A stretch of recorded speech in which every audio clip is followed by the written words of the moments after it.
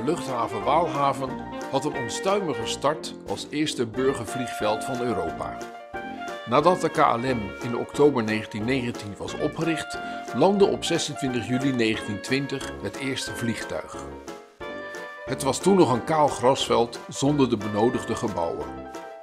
Een maand later besloot de gemeente Rotterdam het vliegveld te voltooien, waarna de KLM al in april 1921 startte met lijndiensten en een fototechnische dienst.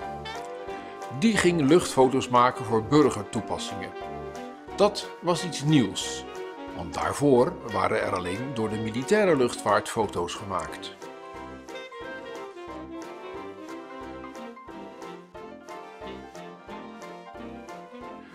Een van de investeerders van de KLM was het haven- en scheepvaartbedrijf Muller Co., bekend van de Batavierlijn.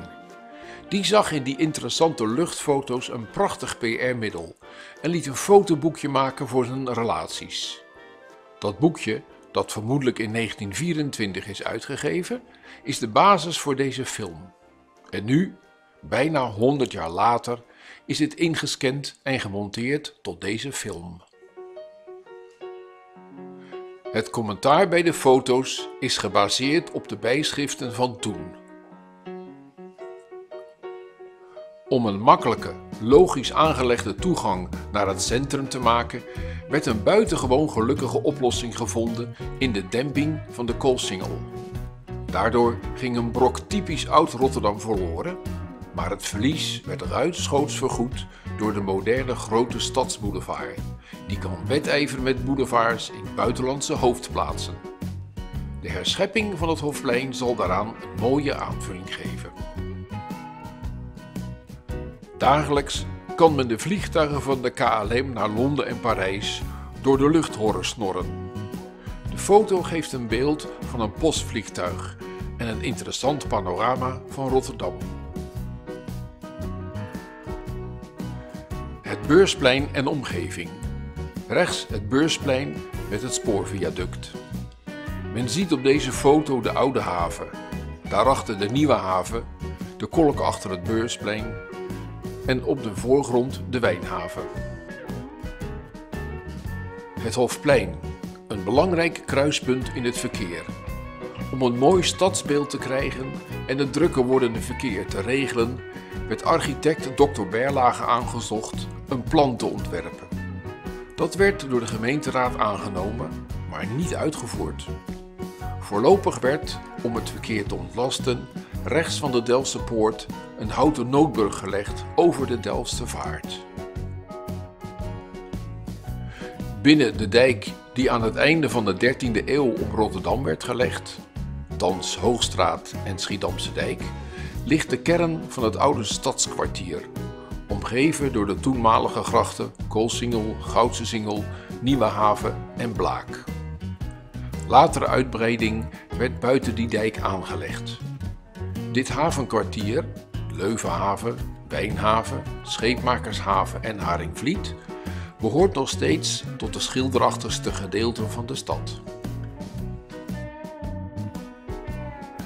Deze foto geeft de brugverbinding weer met de linkeroever, het Noordereiland. Aan de andere kant van het eiland liggen de draaibare bruggen over de Koningshaven. Deze zijn van zeer groot belang, maar bij een aanvaring bijvoorbeeld zal het spoorverkeer worden vertraagd of stopgezet. Het gemeentebestuur heeft een prijsvraag uitgeschreven met als resultaat dat er een hefbrug zal worden gebouwd. Willemsbrug en de Spoorbrug zijn de enige vaste verbindingen tussen de rechter en de linker Maasoever. Er waren allerlei plannen voor een tweede brug of tunnelbouw. De gemeenteraad besloot om door verhoging en verbreding van de Willemsbrug en modernisering van de brug over de Koningshaven de verbinding te verbeteren. Op de achtergrond de Kralingse Plas. Het Noordereiland. Dit eiland, met zijn talrijke huizen en omzoomd met groen, is ontstaan door het graven van de Koningshaven. Het nieuwe raadhuis aan de Koolsingel. Hiervoor werd de beruchte en gevaarlijke zeemansbuurt de Polder afgebroken en is men nu bezig om de erachter gelegen krotwoningen te slopen. Op de achtergrond de schilderachtige Delftse Vaart.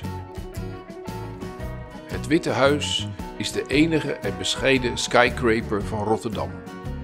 De foto geeft een duidelijk overzicht van het schilderachtige havenkwartier met de Oude Haven, Nieuwe Haven, Haringvliet en Wijnhaven. De spoorweg, binnen- en entrepothaven. Dit zijn de eerst gegraven havens aan de linker Maasoever. De spoorweg en binnenhaven worden met hun loodsen en opslagterreinen alleen nog gebruikt voor de Rijn- en binnenvaart. De Maashaven vanuit het zuiden gezien. De grote, aan boeien liggende stoomschepen en de machtige werktuigen voor het machinaal lossen en laden van massagoederen geven het geheel een indrukwekkende aanblik. Na de verhuizing van de Rotterdamse Lloyd kon de Holland-Amerika-lijn beschikking krijgen over de hele Wilhelmina-kade. De kade is inmiddels verder in de rivier uitgebouwd om meer diepte te krijgen voor de grote oceaanstomers. Het 24.000 ton grote dubbelschroefs stoomschip Rotterdam. De Holland-Amerika-lijn beschikt ook nog over zes andere schepen, waarmee zij een wekelijkse passagiers- en vrachtdienst onderhoudt tussen Rotterdam en New York. Omdat de oostelijk gelegen havens in de Feyenoord moeilijker bereikbaar werden voor de grote schepen, werden de Keilen, Lek en IJsselhaven gegraven. Tussen de Sint-Jobs en Schiehaven is het schiereiland in gebruik bij de Rotterdamse Lloyd en heet dan ook de Lloydkade. De jachthaven met de vele sierlijke zeil- en stoomjachten en het clubgebouw van de roei- en zeilvereniging De Maas. Helemaal rechts de aanlegplaats van het wagenveer. Links, aan de overkant van de haven, staan de kantoorgebouwen van de firma Ruis Co. en op de hoek die van de Steenkolenhandelsvereniging. Het eerste tuindorp in Rotterdam werd in opdracht van de Rotterdamse Droogdokmaatschappij gebouwd op de heiplaat voor haar arbeiders. Het is omsloten door bedrijfsterreinen. Als een indrukwekkende schoonheid verheft zich de prachtige Sint-Laurenstoren. De Koninginnenkerk aan de Boezemsingel. Hij behoort, ook wat interieur betreft, tot de mooiste kerken van Rotterdam. De Ignatiuskerk op de hoek van de Van Vollenhovenstraat, met aan de overzijde, linksboven, de Nieuwe Zuidkerk. Bovenaan zien we de bomen van het park en het grasveld van het land van Hoboken, dat midden in de bebouwde stad is komen te liggen en nu door de gemeente voor 4 miljoen gulden is aangekocht. Diagonaal door de foto loopt de Krooswijkse weg, met bovenaan de Rooms-Katholieke begraafplaats en op de voorgrond de Rooms-Katholieke kerk. De foto geeft een fraai beeld van de particuliere ziekenhuisinrichting het Sint-Franciscus Gasthuis. Groots opgezet en met een ruime beurs gebouwd.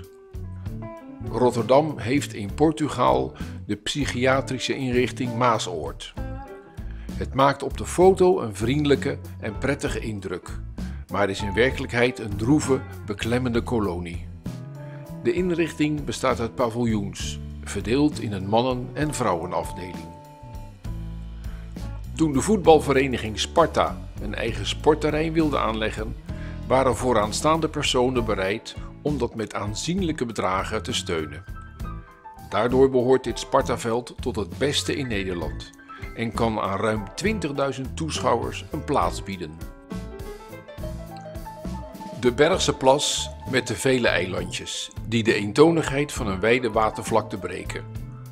Op de achtergrond de bergweg naar het landelijke Hillegersberg en de vele villa's.